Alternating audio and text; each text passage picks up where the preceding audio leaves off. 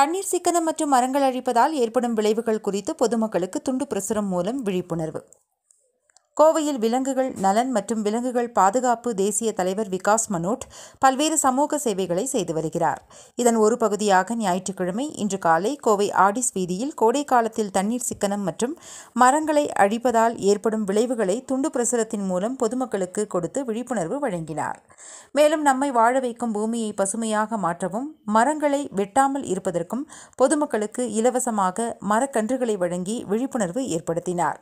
இது குறித்து விலங்குகள் நலன் மற்றும் விலங்குகள் பாதுகாப்பு தேசிய தலைவர் விகாஸ் மனோட் கூறுகையில் சூரியனின் கதிர்வீச்சு மிக வெப்பமாக இருப்பதினால் கோடை காலத்தில் நீர் தேவை அனைத்து ஜீவராசிகளுக்கும் இன்றியமையாததாக உள்ளது.